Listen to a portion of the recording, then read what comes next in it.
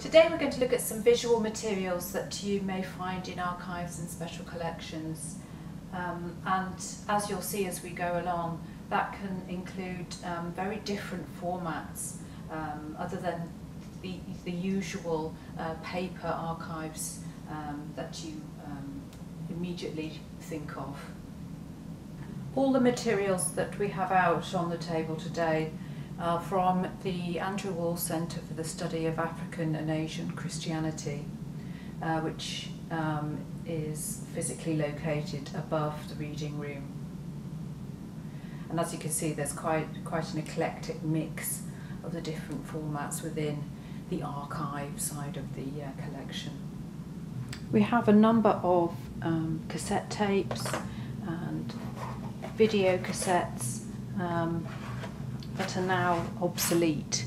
It's an obsolete format, uh, very difficult to um, get hold of the hardware that you need to um, listen to and view this material. So uh, not many people now have a cassette tape player and or a video recorder. Um, with some of them as well, we have um, there's uh, certain talks um, on say African Christianity, and with it you'll get the takeaway um, tape of the talk, and um, this is a film reel as well. This will come in this lovely commemorative box, so something to take away with you. However, this is material that we would now require some expert uh, input in um, being able to digitize this material um, or to at least put it on a format that we can, can still read. So that might be CD, um, for example. Here we have boxes of um, slides uh, together with um, some explanation of what the slides are. So here we have in this box uh, Sudan United Mission, A New Way of Life, and the commentary on the slides. Um, so this is what would have been given as um, a presentation or a lecture. This is Faith and Farm complete. Um, so at least we have the information um, of what is on the slide, so that is very helpful. And in fact, very much like um, the microfiche and microfilm, it's uh, often very good quality. Um, however, we um, don't often have the slide projectors now um, to be able to, to view this. This would have been um, lit up onto a screen. Um, so again, this would be something that we would be looking to um, get into a digital format that we can use uh, on a PC. Here we have some slides in their original box uh, with this wax paper. Um, we can handle these quite easily because obviously slides have got their own um, protective surround that you can handle without damaging the negative. And here we have a light box um, to be able to light up the image so we can see exactly what it is we're looking at. Here we have a number of film negatives stored in tins. So this film strip is called Women's Class on Plateau by Carlton Hill Film Studios, London. So if we open this up, whenever you handle negatives or photographs, you need to wear gloves. Um, the acid on your your hands um, can do um, long-term damage to the quality of the negatives. So if we just pull this out, and here we have a strip of negatives.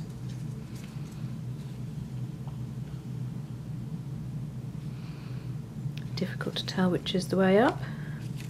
There we go, I can see people now. We can use this light box um, to be better able to see what's on the film. I just weigh it down with a snake weight one end. And now we can see very clearly the images, black and white film.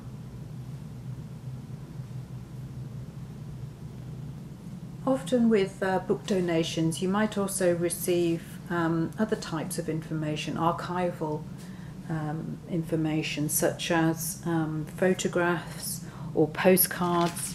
Here we have some postcards of um, often you would have got, um, you know, memor- memorabilia of places that you visited from collectors.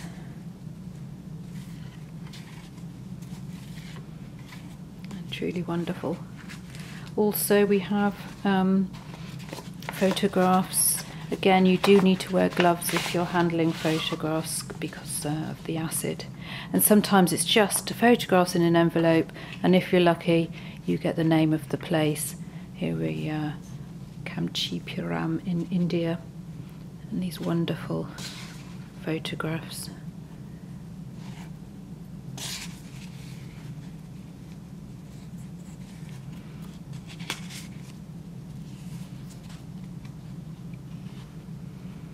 Sadly, we don't necessarily know who everybody is on the photographs because nobody's written on the back.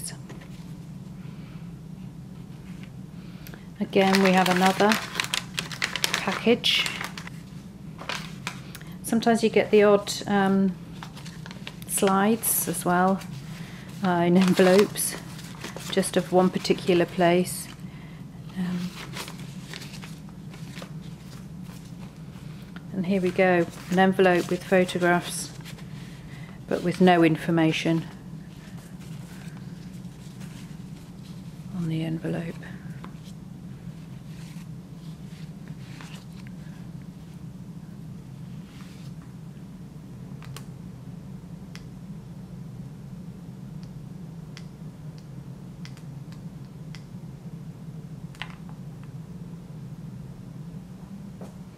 In special collections, we also have some wonderful artifacts.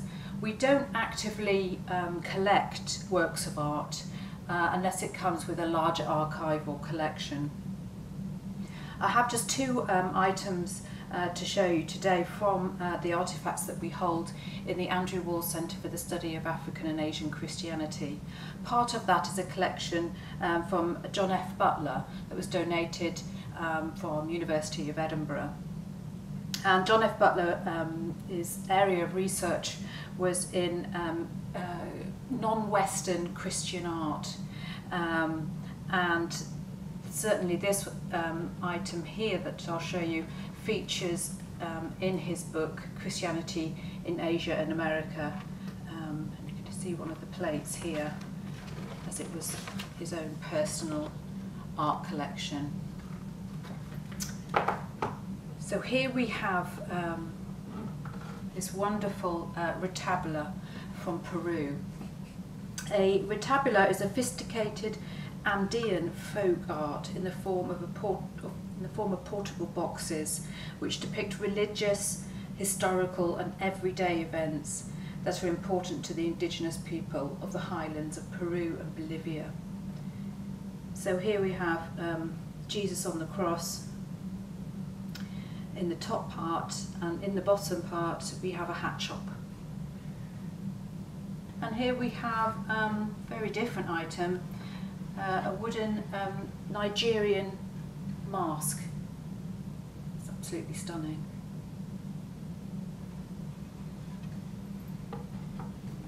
We were recently given this um, really interesting archive of newspaper cuttings um, taken from the Liverpool Echo and other local newspapers, as well as national newspapers, during the 1980s. This was a time um, when the far left militant Liverpool um, was running the council, um, the Derek Hatton um, of, the day. Um, and uh, the collector, she who donated this, Uh, she was a head teacher at that time, and so of course there was a direct um, correlation between uh, the council and how the schools were run, um, and it affected her greatly. And so she collected this archive um, for posterity, um, and it does make for some shocking reading. I have a couple of items out to show you from the Nugent archive. Um, this started um, in mid 19th century um, Liverpool with Father Nugent, um, who was instrumental in, in helping destitute children. At that time in Liverpool, with the um, potato famine in Ireland, and um, there was a huge population influx into Liverpool, and um, there was a lot of um, disease, um, slum, slum living, and typhoid epidemic. Um, and often you would see um, children on the streets hiding under bridges, sleeping in cardboard boxes if they were lucky. Um, and Father Nugent um, wanted to do something about that, and he set up some night shelters um, and homes within Liverpool to help destitute children. And here we have some bound volumes of um, Father Berry's homes. Uh, that was one of the homes that they set up for the children. Um, and these are the annual reports. So this is 1892 to 1904, bound in one volume.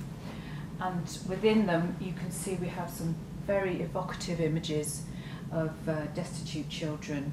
And they were designed uh, for that purpose. They were trying to um, gain, get money from people, donations.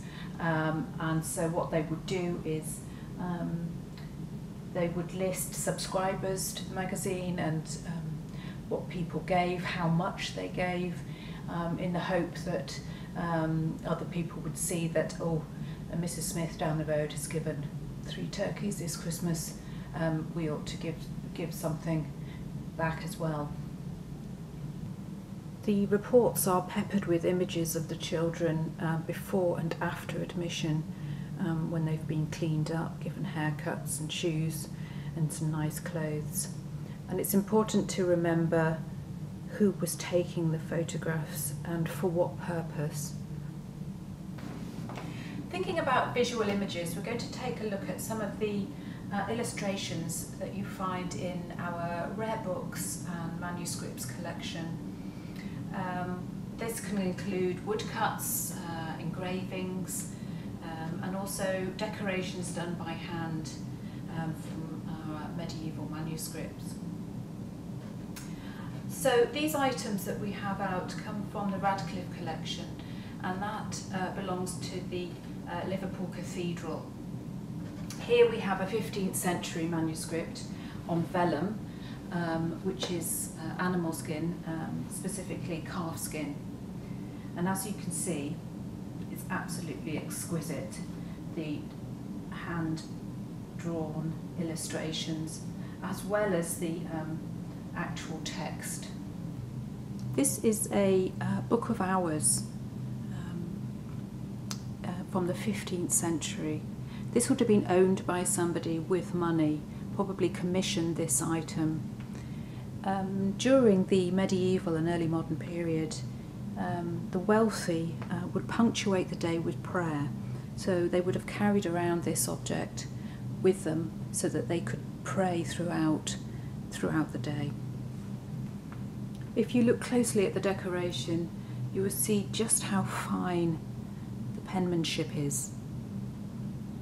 Beautifully executed,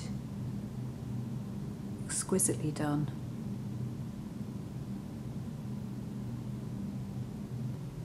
Here we have the Herbal or General History of Plants by John Gerard, or more commonly Gerard's Herbal, dated from 1636. And this is where we can see where illustration is fundamental to the actual work. We have beautiful illustrations of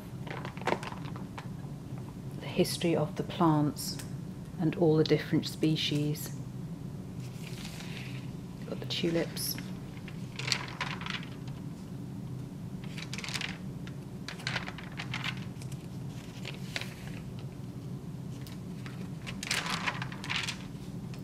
And violets. This would have been used by um, as reference work really for um, for people and this is something that Shakespeare would have referred to. These are engravings on metal where you get a very uh, fine edge um, so you can have a lot more intricate detail compared with uh, wood engravings. This rather large volume, known as a folio, is the uh, Acts and Monuments of Martyrs by John Foxe, or as he became known, Foxe's Book of Martyrs. And this has a wonderful fold out illustration. We unfold it like so. This glorious uh, fold out, full of engravings, of illustrations of the different ways that you can be put to death, depicts the martyrdom of the Protestants, uh, the Church of England, under the persecution of the heathen tyrannies of Rome, as it states there. Absolutely gruesome. This is the uh, title page of the second volume, and as you can see in this wonderful engraving, we have King Henry VIII here, looking very regal, holding his sword. Uh, this figure here is Cranmer, Thomas Cranmer, and Thomas Cromwell behind him. And here he is passing to him the Bible, the Great Bible in English. And under his feet we have the Pope, and his crown has fallen off his head. Finally, we come to a much smaller volume. This is from the Talbot Library, which belongs to the Diocese of Lancaster, so uh, a Catholic collection. And here we have a hieroglyphic Bible dating from the 18th century. If we open it up, we can see that pictures have been used to tell the story of the Bible. So here we have Behold, I send you forth as sheep in the midst of wolves. Be ye therefore wise as serpents and harmless as doves. Right at the bottom of the page, we have the words as they're meant to be, in case you weren't sure what the pictures were of.